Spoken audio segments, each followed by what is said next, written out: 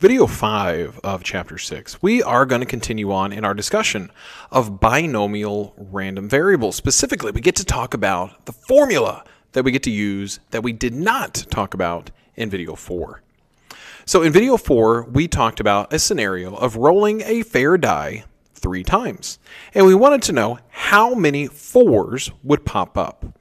And so to figure out the probability distribution, we went through this tree diagram of roll one versus roll two versus roll three, and what are all those different outcomes, and what were all those probabilities multiplied. And then we grouped together ones that had common outcomes, um, and we got all of these probabilities.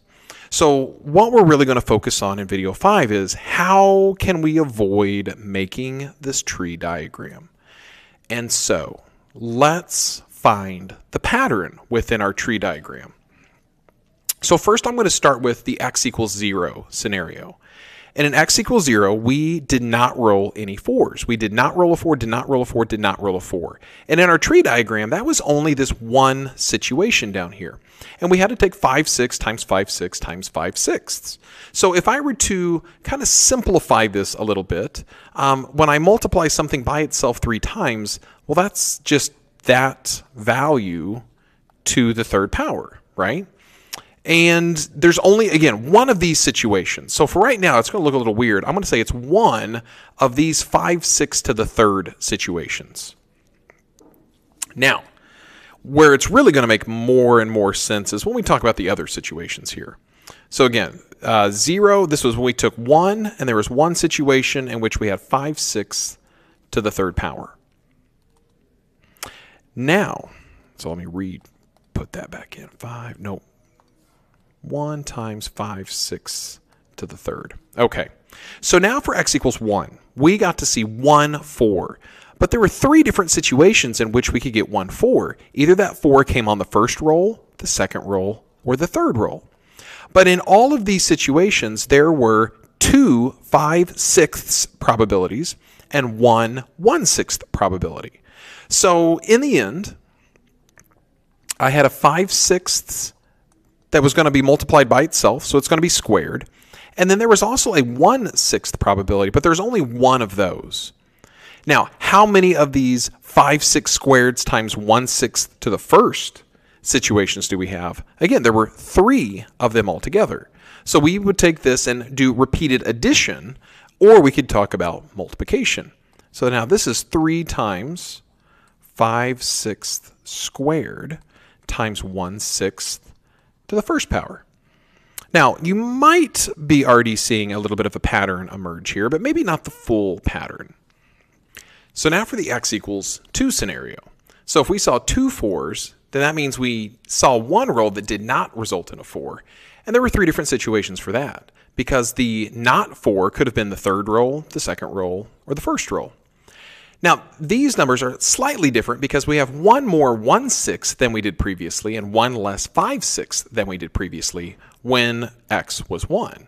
So we have repeated 1 sixths, we have two of those, and then we only have one 5 sixths. But there were three of these situations. So let me write all these back out. So this was 1 times 5 sixths to the third, and then we had 3 times 5 sixths squared times 1 sixth to the first. And then we had three of these, that was 5 sixths to the first, and then 1 sixth squared. Are you starting to see a pattern emerge? Maybe more with the fractions than with the coefficients, with the numbers out in front, because that's its own special pattern. Now, for the final scenario where we saw three fours happen, there was only one of those circumstances, and that's when we had all fours, and each of those was one sixth. So this is really one sixth to the third power. And again, there was only one of those situations that emerged. Now, what I'm going to do is pull all of these together. And so instead of writing the 5 sixths first, I wrote the 5 sixths second, and I put the 1 sixth first. Now, in this first scenario, notice I wrote 1 sixth to the 0. I didn't get any fours. I had zero fours, but I had three not fours. I had one four and two not fours. Then I had two fours and one not four. And then I had three fours and zero not fours. So the exponents started to change on every single one of those situations. And then the other thing that we're going to have to talk about are where do we get that 1331 pattern from? And some of you might know where that actually came from because if you took probably Algebra 2 or pre-calc, you probably talked about this particular uh, pattern. Now, thankfully, on the AP Stats exam formula sheet, this formula is on there. So you don't have to have it memorized. You just got to be able to find it on the sheet. So here is the formula. When x is a binomial distribution, and you have to know that it follows a binomial distribution first, with parameters n and p, and n represents the number of trials, and p represents the probability of success that has to stay constant in a binomial distribution. Then, if you want to find the probability where x, your discrete random variable, equals a specific number, so notice this x is smaller. This means a specific value like 0 or 1 or 2 or 3 or all the way up to the nth scenario here. Then we have this, which looks like a fraction but is not a fraction. That is a combination formula, and I'll talk about that in the next little sequence here. But then we take that combination part times our probability of success to how many successes we want to see, that as the exponent. And then we want to multiply that by 1 minus the probability of success, which would represent the probability of failure.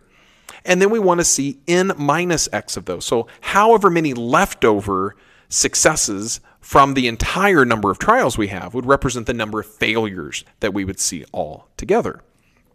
Now, the combination part, you do not need to know this particular formula because we're just going to use our calculator to come up with those particular values for us. So the combination formula uses factorials, and you may or, may or may not know what factorials are, but it's not a big deal. Okay, so just, just to know, there, there is a little bit more math to this that we're not really going to dive into. Now, some of you may be familiar with Pascal's triangle. And in Pascal's triangle, we have ones going along the outside edges here of the triangle. And to use Pascal's triangle, what you do is you add up two adjacent, uh, left or right adjacent cells. And for instance, these two ones here would add together, and then you write down what the sum would be below it in between them. So, like this 1 and 2 add to be 3, and this 10 and 5 add up to be this 15. And it just keeps going on and on and on forever. So the 1331 that we saw earlier with our example happens to be the third row of Pascal's triangle. You may call it the fourth row technically. Um, but that's where this is coming from. And so if you remember Pascal's triangle, you can use it. Um, and we don't necessarily need to know Pascal's triangle, but it definitely helps the process. So now what I want to get into for the rest of the video is how do we actually use this formula now? Okay, so let's say we already talked about what this answer would be, right? Exactly two fours. Let me jump back. Nope. To, well, let me actually go all the way back to here. Rolling exactly two fours, that was 15 out of 216, or about 6.9%. How would I do that without making the tree diagram? So um, I went exactly two successes. And how many times was I rolling this thing? I was rolling it three times. So n is three, the number of trials. The probability of success of rolling a four was one sixth. So what this would look like, the probability that I'd roll exactly two fours, x would equal two. n is our three, and this x again is the two. This is how many successes we want to see happen. So 3 combination 2 times the probability of success, which was 1 sixth. How many of those 1 sixth successes did I want to see? Exactly 2, so to the second power, times. Now, what's the probability of not rolling a six, or rolling a 4? This would be that 5 sixths that we kept talking about. And how many not 4s would I have to roll? Well, again, if n is 3 and I want to roll exactly two fours, then that would mean that there's one roll left over that gets to be a not 4. Now, if I were to type all this into my calculator, which we're not going to do because in the next video, we're going to talk about the calculator command that's going to give us this answer. So this video is all about how do I write out the formula because this is really your work for the answer. So this would be the work that I'm going to be looking for. On my test, this is the work that the AP exam is going to be looking for. So this would be the work to get to that answer of 15 out of 216 or approximately 6.9%. But again, we're not focusing on what the final answer is. What's the actual math that's happening to get that without the tree diagram? So let's look at the next one.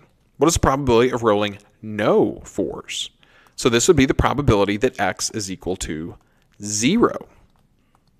So out of three rolls, I don't want to have any successes times the probability of rolling a four, one sixth. How many of those do I want to have?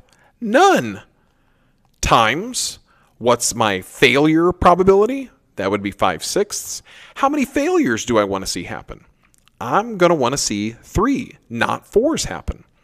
Now, again, we already talked about what this probability was, right? This was, um, let me jump all the way back, back, back, back, back. This was 125 out of 216 or 57.9%. Again, we're not focusing on the answer, we're focusing on how does this formula play out. So this would be the main thing that I'm looking for for today. In the next video, we will talk about how do I now actually use the calculator command to tell me that that is 125 out of 216 without the tree diagram. All right, what's the probability of rolling at least one four? Ooh, at least one 4. So now instead of this being an equal sign, would be an inequality. So x is greater than or equal to 1. Now, here's what we need to do in these situations. This is really equivalent to rolling a 1 or rolling a 2, or rolling two fours, I should say, sorry.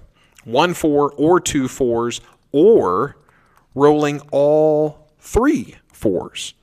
So this inequality really represents three different situations here, and we would need to add up those three situations. Now, we get to use some abbreviated work like we've been doing with the mean and the standard deviation. So we're going to do the x equals 1 case.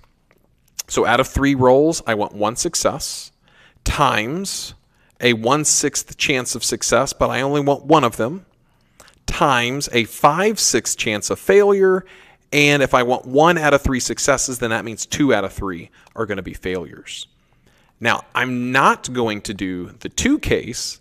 I'm going to put a plus dot dot dot, and then I'm going to show the work for the x equals 3 scenario. So out of three rolls, I want three successes times a success rate of 1 sixth, and I want three of those to happen, times the fail rate of 5 sixths, then how many of those do I want to happen? None. Now, some of you might be going, well, 5, 6 to the 0 power, that's just 1, right? Anything to the 0 power is 1. Do I really need to write that 5, 6 to the 0 power? And I would argue yes. Go ahead and write it out because that's a part of the formula that you're showing work for. Now, to figure this answer out, we would have to add together, let me jump all the way back. We would add up uh, the three probabilities for the x equals 1 case, the x equals 2 case, and the x equals 3 case. And we could add those up, or we could use the complement rule and say we don't want that 57.9%. How much is left over for the other three scenarios? So again, that is going to have its own unique formula. So again, today's focus is just how do I use the formula to represent this? How do I show my work? All right, the last one we're going to do together before we get to the you do, right? Yep, you do's next is what is the probability of rolling no more than two fours? I should have an apostrophe S there. Sorry. All right. So no more than two means we don't want to see anything go above two. So we want to be less than or equal to two. So that means at the minimum, we'd want to see the zero case, or we could see the one case, or we could see the two case. And so again, we're going to show the work for the zero case, we're going to show the work for the two case, and then we'll just plus dot dot dot over the x equals one case. So for zero, out of three rolls, we don't want to see any successes with a success rate of one sixth, and we don't want any times a fail rate of 5 sixths, and we want all three of them to be failures. Plus dot, dot, dot. Now out of three rolls, we want two successes. So 3 combination 2 times 1 sixth squared, we want two successes. Times 5 sixths, we want one failure. And so again, there's our work that we're going to use to get our answer from the calculator tomorrow, again, without the tree diagram. So now the you do problem. So pretty similar setup here. I got some different numbers. I got different trials in, and I have different probability of success, P. But I just want you to write out the formula part, just like we were just practicing on those last four examples. Try it out on these three instances, and we will discuss these the next day in class. Good luck.